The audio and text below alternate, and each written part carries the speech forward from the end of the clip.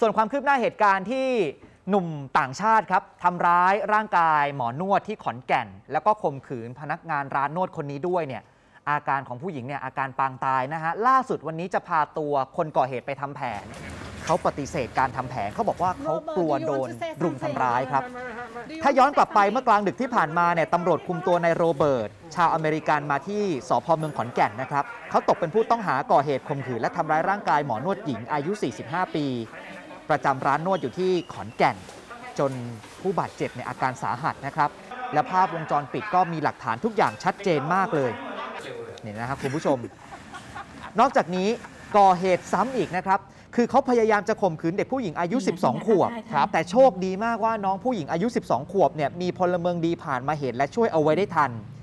จับได้ที่กรุงเทพหลังจากก่อเหตุที่ขอนแก่นนะฮะอืมพอส่งมาที่โรงพักเสร็จแล้วเห็นว่า กลางค่ำกลางคืนนี่คือมีบ่นด้วยเหรอฮะ ใช่ คือเขาบอกแบบนี้นะครับ คุณผู้ชมก็สอบปากคำกันต่อเนื่องทั้งคืนนะครับ แล้วก็จะมีการคุมไปภายในห้องควบคุม เบื้องต้นเนี่ยนะครับกำหนดการเดิมเขาจะต้องถูกนำตัวไปทำแผนประกอบคำรับสารภาพในช่วงประมาณสักเที่ยงที่ผ่านมาอืมแต่ปรากฏว่าสุดท้ายแล้วไม่ได้ไปทำแผนนะครับครับทางผู้กำกับเนี่ยท่านบอกว่า กำหนดเดิมที่จะต้องพาไปทำแผนต้องยกเลิกไป เนื่องจากว่าผู้ต้องหาไม่ยอมให้ทำแผนนะครับเขากลัวกลัวว่าตัวเองจะไม่ปลอดภัยอืมก็เลยไม่ยินดีที่จะไปทำแผนประกอบคำรับสารภาพ ซึ่งเดี๋ยววันนี้ครับทางพนักงานสอบสวนจะมีการสอบปากคำเพิ่มเติมอย่างละเอียดก่อนที่จะรวบรวมหลักฐานทั้งหมด ส่งฟ้องศาลฝากขังผลัดแรกในวันพรุ่งนี้นะครับผู้สื่อข่าวสอบถามกับผู้คุมห้องขังบอกว่า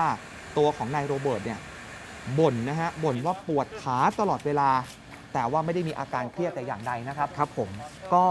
ดูเหมือนจะ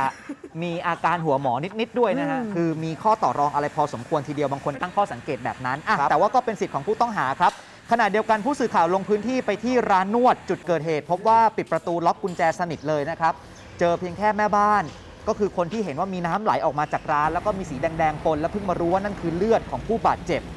วันนี้แม่บ้านคนนั้นก็อยู่ที่หน้าร้านทำความสะอาดตามปกติ นักข่าวเนี่ยสอบถามความคืบหน้าอาการของคนเจ็บ สอบถามไปยังลูกชาย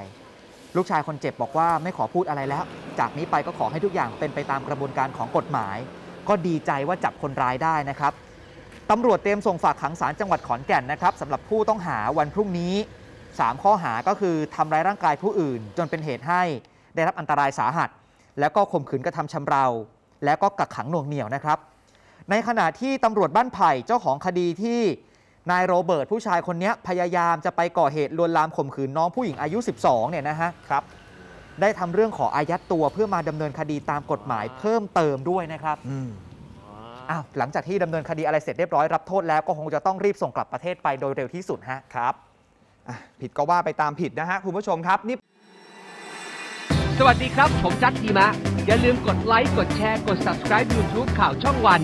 จะได้ไม่พลาดทันข่าวทันทุกเหตุการณ์ เปิดเผยทุกความจริง จากทีมข่าวช่องวัน เข้าถึงข่าว เข้าถึงคุณ